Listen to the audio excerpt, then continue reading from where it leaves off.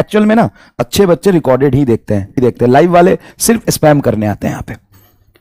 एकदम दिमाग के गधे, बाहियात और बेवकूफ़ है।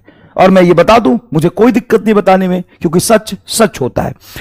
60 70 परसेंट बच्चे जो सेलेक्ट हो रहे हैं सिर्फ़ रिकॉर्डेड लेक्चर देखते थे।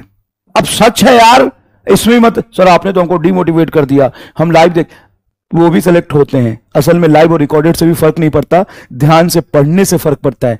जो कमेंट करते तो आज तक सेलेक्ट नहीं हुए। ये भी एक नया न्यूज़ बता दूँ। जितने बच्चों से मैंने पूछा, मैंने बोला, बेटा, तुम कमेंट करते थे? नहीं सर, आज तक हमने कमेंट किया ही नहीं। क्या बात कर रहे हो? हाँ सर, आज तक कमेंट नहीं किया। तो जो ये कमेंट करते हैं ना, वो सेलेक्ट ही नहीं होते।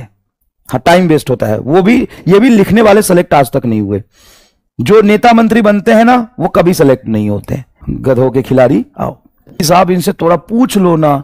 सवाल एक करा लो ना। एकदम ही फैल जाते हैं। और जो ये भी कमेंट करता है ना कि मेरा आंसर सही था पोल नहीं आया था, उसका भी आज तक सिलेक्शन नहीं हुआ कभी।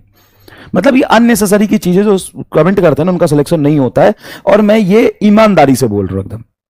जैसे मेरा राइट था, मैंने तो एकदम सही किया था, मैंने तो ऐसे कर लिया था। नहीं होता उनका सिलेक्शन सिलेक्शन होता है फोकस बनाने से। सिलेक्शन मैंने कर लिया था। Good morning finally completed my dash I have नहीं होता सिलेक्शन सर सिली मिस्टेक हो गया था, नहीं होता। रिपीट रिपीट नहीं होता। तो सर किसका होता है? फोकस्ड बनाने से।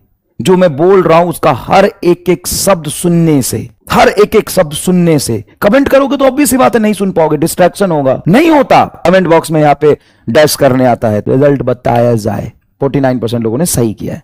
ओके ओके होगा, उतना तो होगा, सब सही कर लेंगे तो सब डॉक्टर नहीं बन जाएँगे क्या?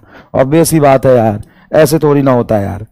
ऐसे थोड़ी ना होता है। आदमी डैश है, डैश चाहता है, मैं भी तुमसे क्यों चाहता है? अब सही कर लेंगे, सभी डॉक्टर बन जाएँगे भाई। इतनी सीट नहीं है।